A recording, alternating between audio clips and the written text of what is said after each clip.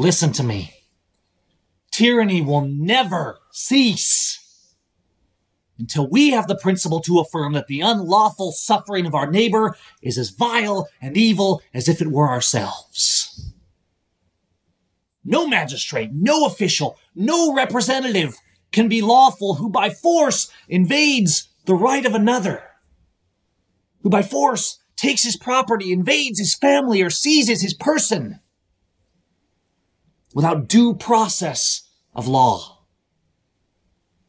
who cages him or takes his possessions or his family without a trial by a jury of his peers who then convicts him justly for a crime against his fellow. Said officials who do this and those who are silent at their crimes are the criminals. They are the lawless. They are a terror to truth. They are the enemies of liberty and they are the attackers of a moral society and they must be stopped by us, by the people themselves at all hazards. That is our job and that is our duty to our children.